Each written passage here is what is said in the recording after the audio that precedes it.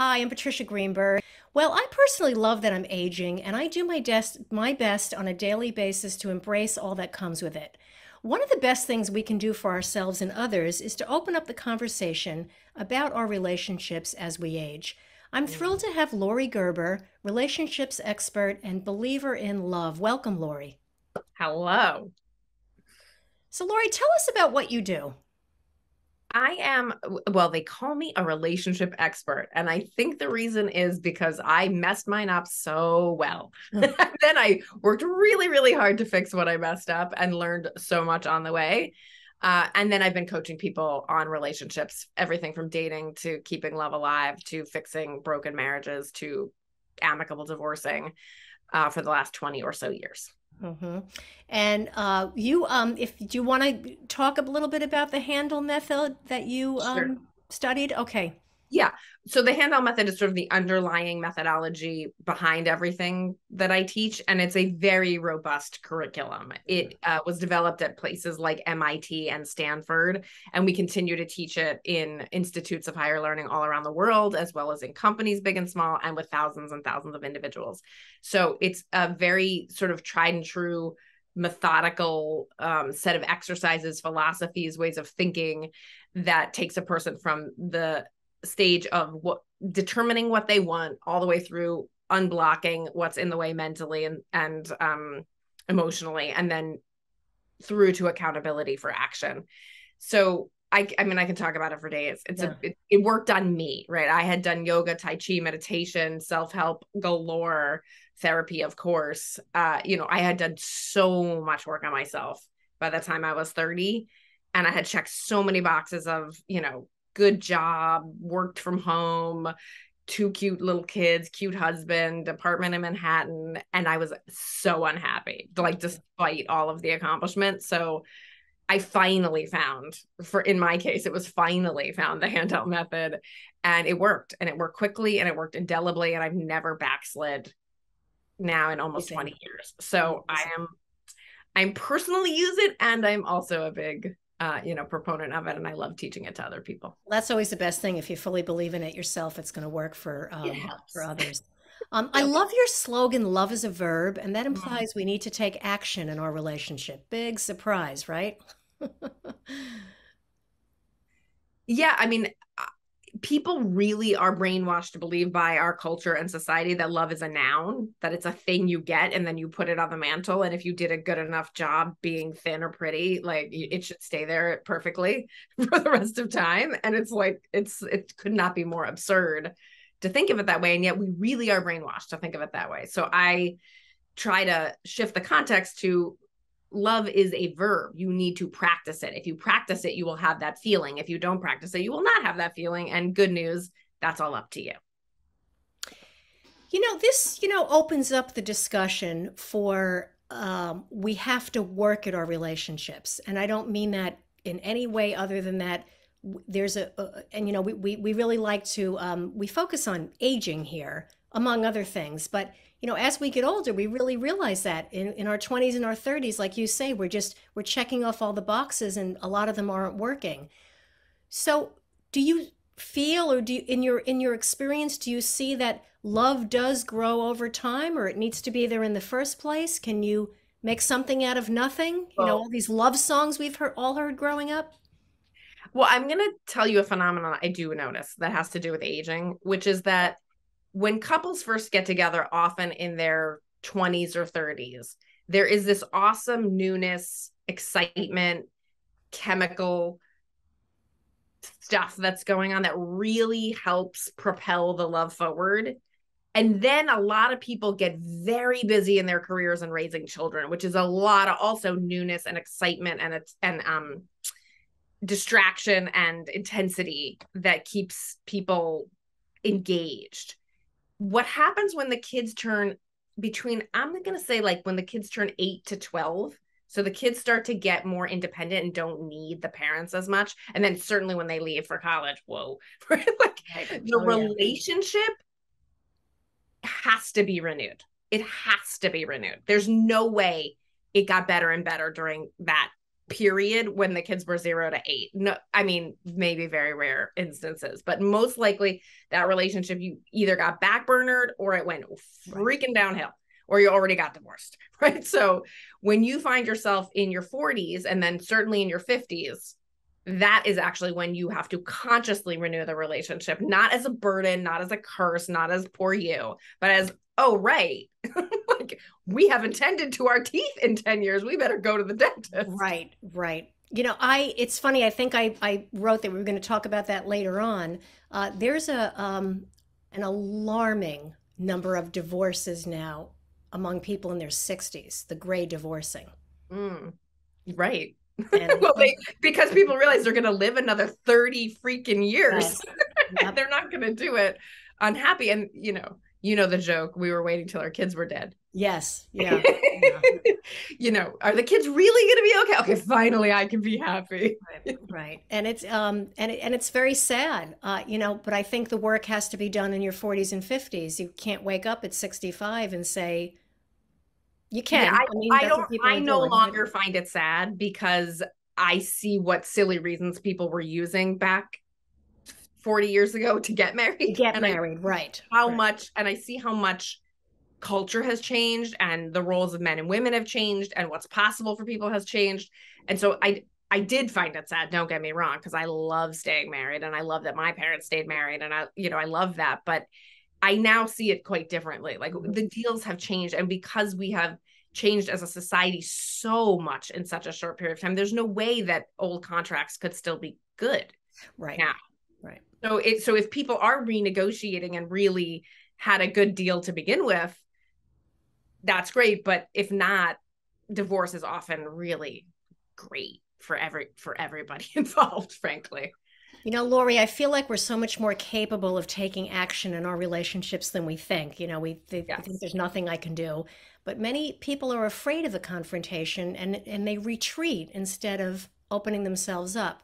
So, contrary to what we think, this is more detrimental and feeds the miscommunication.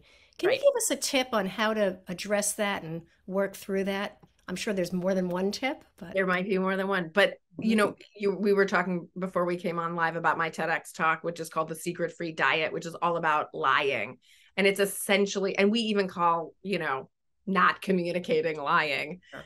And the the image I want to paint is that if you put something in a closet, it doesn't go away. It it actually festers in the dark. It actually grows like mold when you put it in the dark. So so that temporary re- relief that we have sweeping something under the carpet or putting it you know in the closet really doesn't last it really doesn't i, I wish it if it worked i would absolutely recommend it but it just doesn't work um so you know that's what coaching is that's the kind of coaching that i do is it starts with just tell me the truth just tell me what you're not saying just tell me what you're not saying tell me what you're not saying about what you wish tell me what you're not saying about what's not working and let's see if we can even get you to say it before we even talk about 17 miles down the road telling your partner.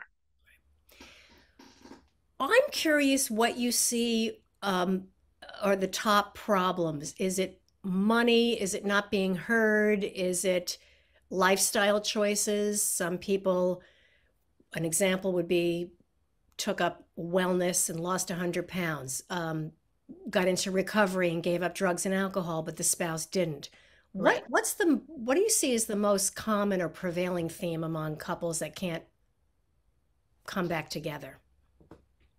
That's interesting because I was thinking of the most common things of couples who can come back together. Okay. okay. But I, I think you're on the money with couples who can't come back together are people who've gone in different directions that don't want to come back together. That's who can't come back together. Okay. Right. It's you know, if you if you're sober and the other person wants to keep partying and you need sober around right. you, that's that's really i call that an irreconcilable difference or if you want another kid and they don't or if you want to you don't want to hit the kids anymore and they really still do like right, right. there are really irreconcilable differences and that's when i get very excited too. Or or even if somebody did something that hurt you that you cannot forgive.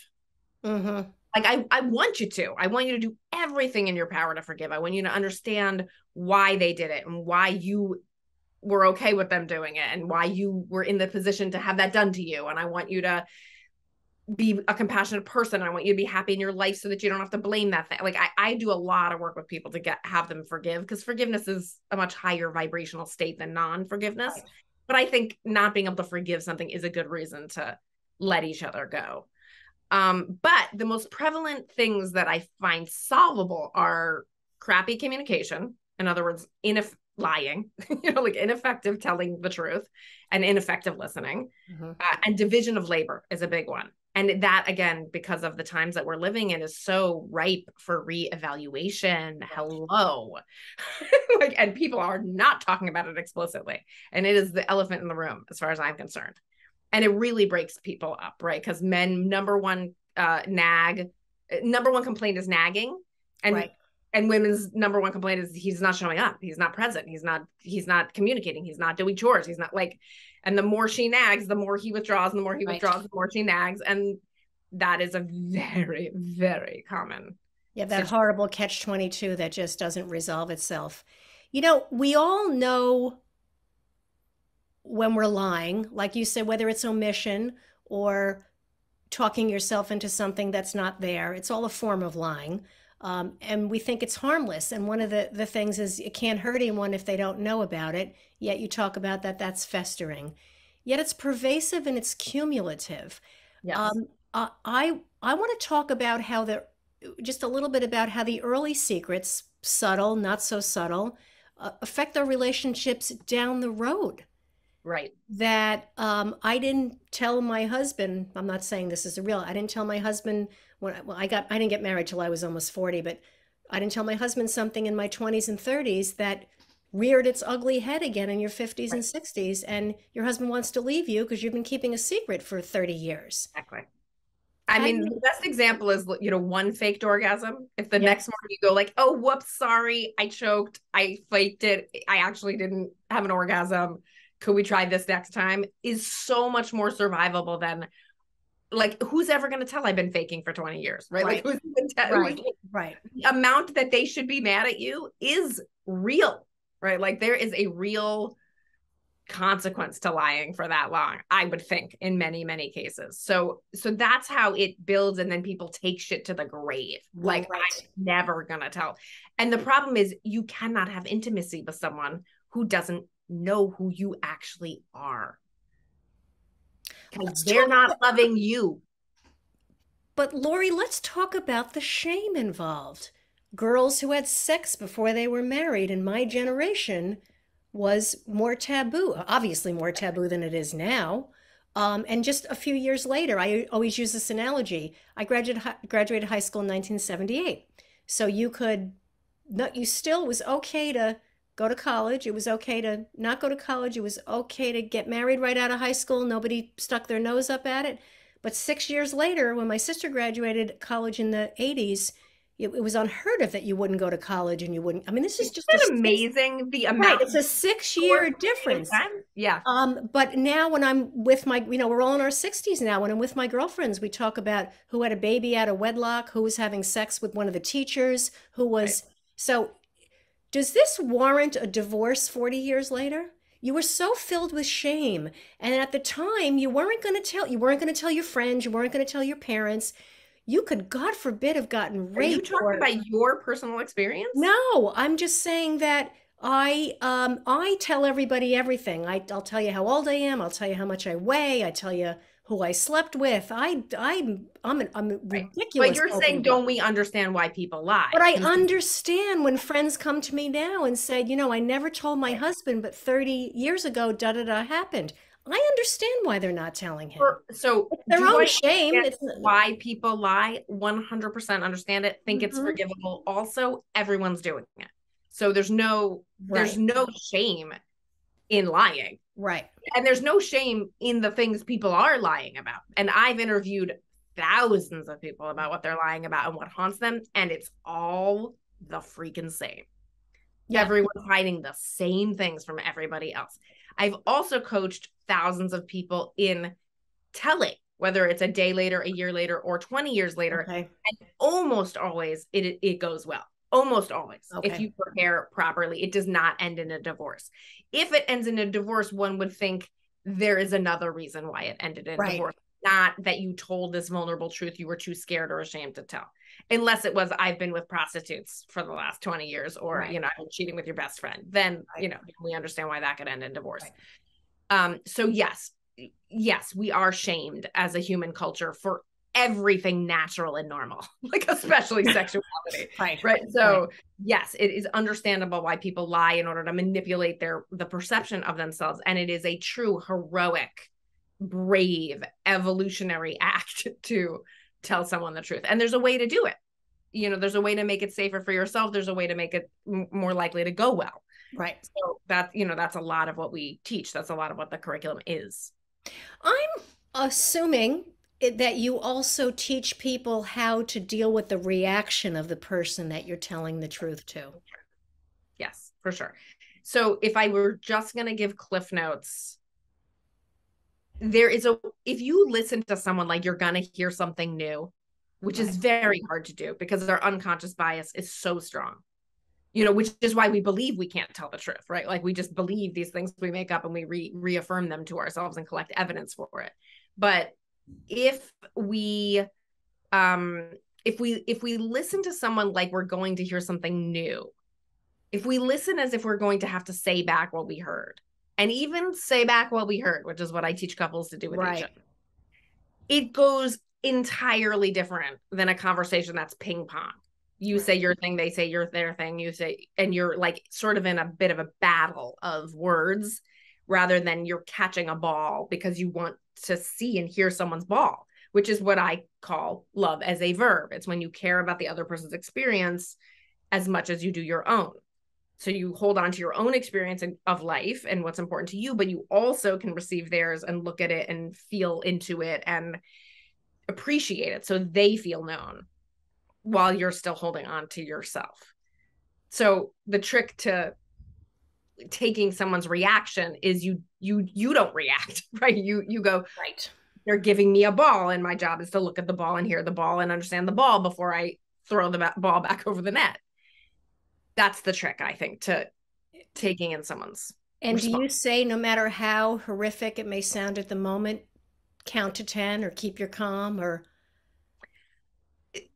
Uh, let me just say when i don't send someone into a hard conversation without a lot of preparation right so most likely they're not going to need to count to 10 because we've run every scenario we've set the conversation up well. We've set aside time. We've practiced it. We know the purpose of having the conversation. We know what we're going to do if this or that outcome happens. We know how to take notes when someone's responding. We're okay if it goes badly. We're okay if they don't respond. We're like, I don't send someone into battle without armor and weaponry and, you know, a good attitude.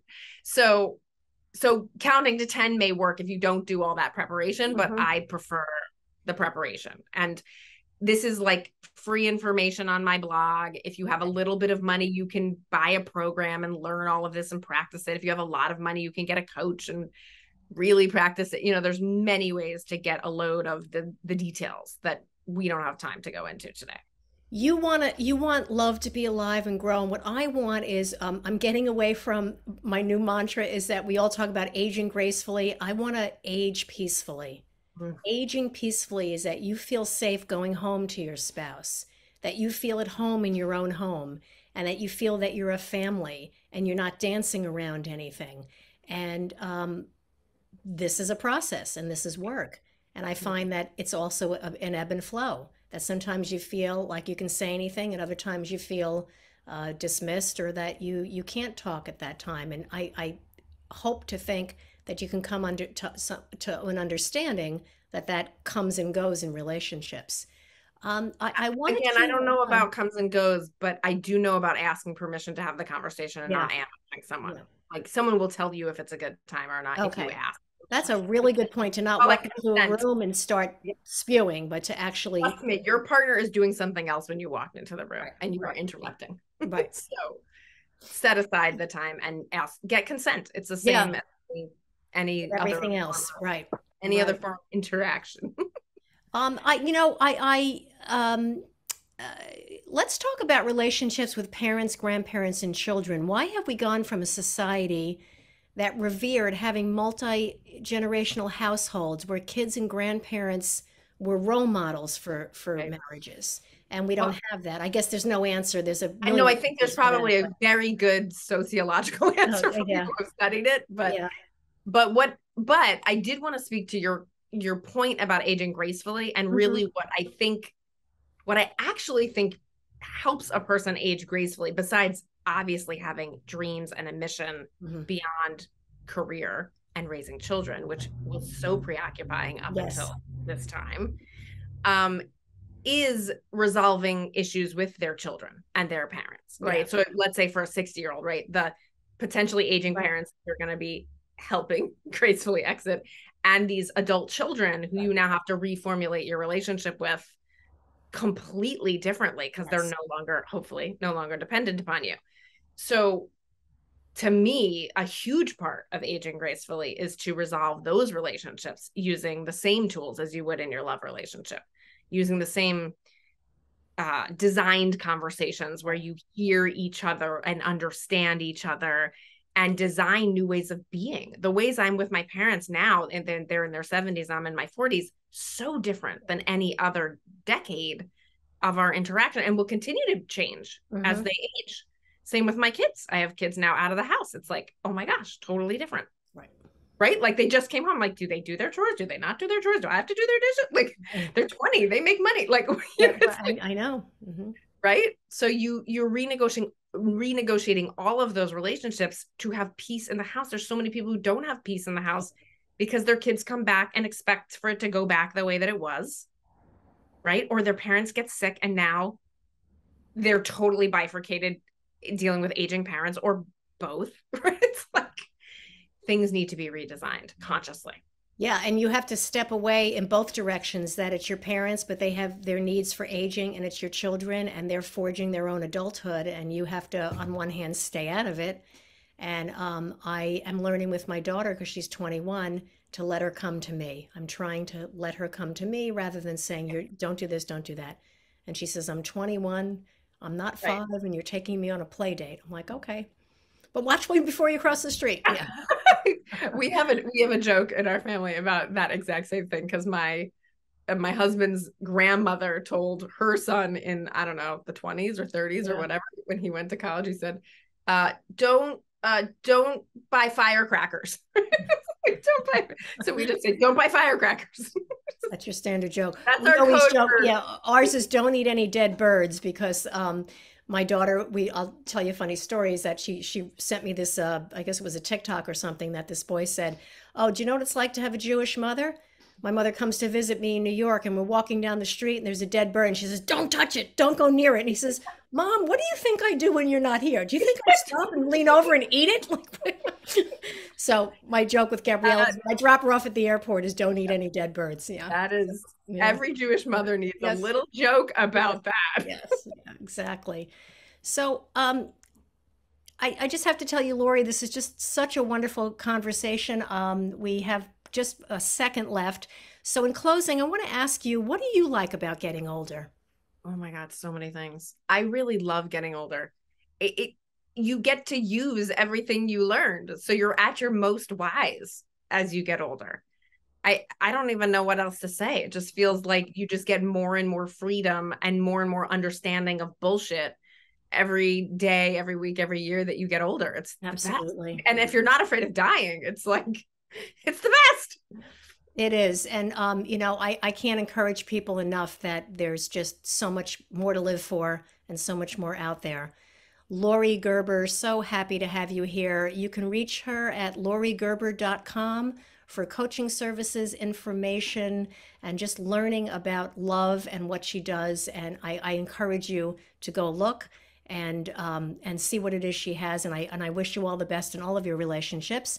And if you enjoyed this show, take a minute to subscribe to my YouTube channel, Patricia Greenberg, where we talk about all things aging well. You can also reach out to me and for more information about Laurie at www.patriciagreenberg.com. Thank you all for joining us. And Laurie, thank you. You are so welcome.